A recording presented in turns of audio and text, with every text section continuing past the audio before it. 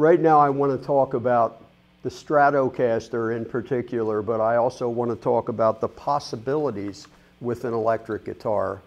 With me, it's always been a Stratocaster though.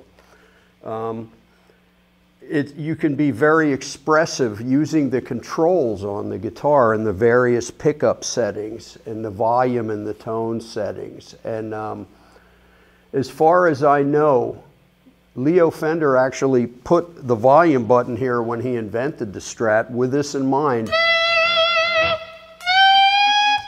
He had a friend, Bill Carson, who was playing a Telecaster in a country band. Bill Carson called Leo, his friend, and said, if you put a vibrato bar and the volume button right here, he said, I could imitate a steel guitar. Now, I don't use the vibrato bar, of course, I have a hardtail, but the volume button was placed here for this technique, you know. And um, it's something I love about the Stratocaster because all the controls are right here within the range of your pinky. And it's, it's very easy to, to control the thing while you're playing. And something I've always loved was volume button use, and it's something I sort of got from Mr. Roy Buchanan, who I used to go see when I was a kid, and he was the master of it. But there's so many possibilities, and you can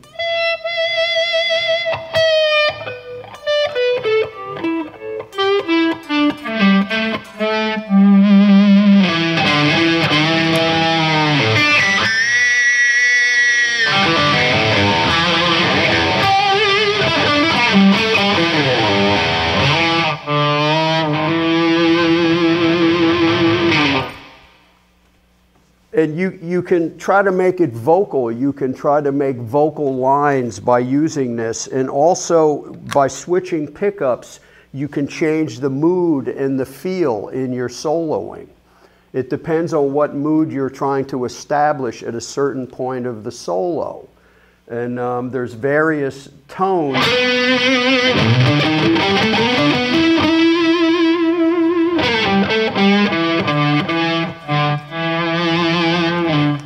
That's kind of very dark and, and kind of eerie sounding, but then when you change to the, the bridge pickup,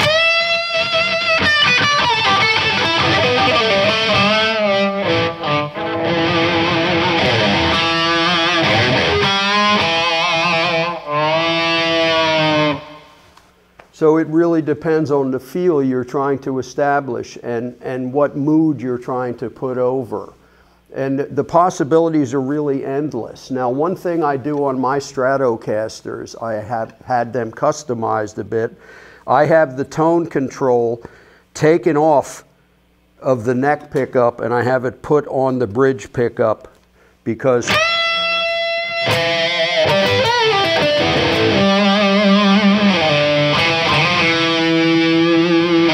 That way sometime you can roll off some of the highs if it gets a little bit too piercing. But um, the possibilities are really wide and limitless on an electric guitar if you utilize the controls and you utilize the pickups and the tone controls. And um, it's one of the things that from the time I started playing as a kid that I found just to be so much fun to goof around with, you know just hitting a chord on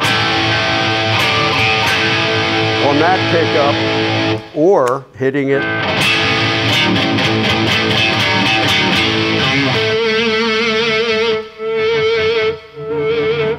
You know, I came up through the ranks in music back in the 60s, and uh, I started off, as we did back then, playing in a lot of bars. I was in bar bands. And back then, when you played in a bar, the only thing that was mic'd was your voice. And you wanted the sound in the front, in the room, you wanted it to be balanced. So you had to do the balance with your instrument. And so when I'd be playing rhythm in a bar, I would have the guitar maybe on two or three.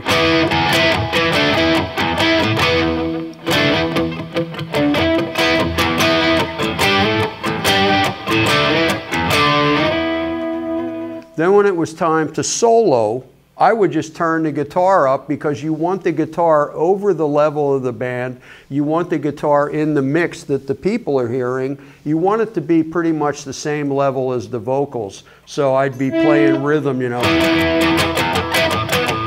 Then it was time to solo. It was.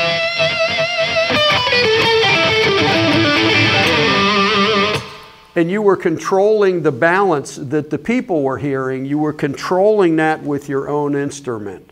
So that's where I ended up, you know, after doing that for many years, I ended up playing pretty much all the time with my pinky wrapped around the volume button. And um, that's one of the things I love about the Stratocaster more than any other guitar is that all the controls are right here and they're all accessible with your pinky while you are playing. And um, so that's just the way I play. I know nowadays, um, you know, they mic all the instruments and, and people approach it differently, but coming out of that bar scene in the 60s, that's just the way I approach it. And um, so I, I play my rhythms in the band, my band, with the guitar turned down, you know. It's time for the solo.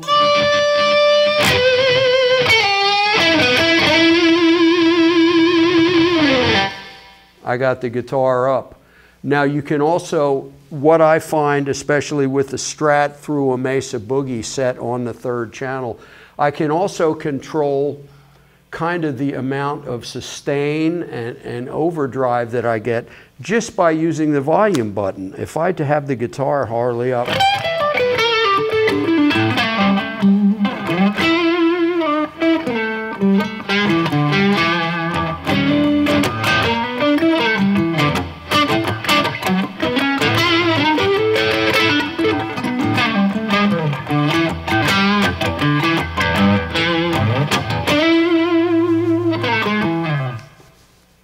Get kind of a, a, a big, beefy, clean, but beefy kind of sound out of it. That gives you the option of controlling the amount of drive and sustain that you're going to get out of your amp by where you set the volume.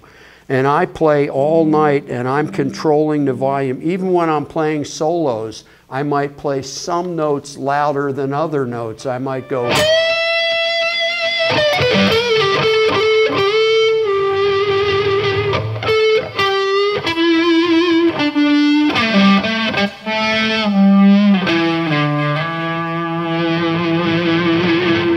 Now what I did there, I held the last note and I turned the guitar up as the note was sustaining.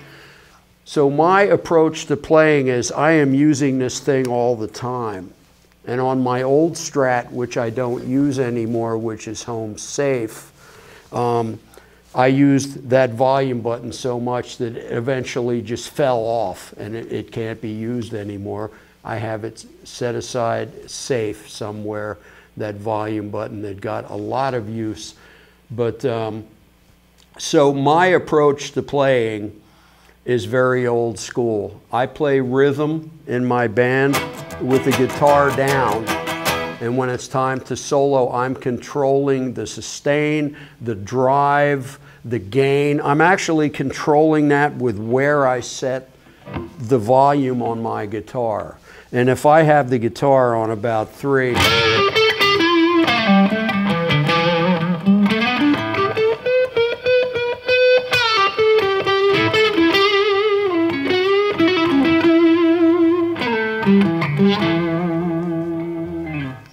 can, you know, the sky's the limit. If I put the guitar up a little more, you get, you get a little more. And then when you go wide open,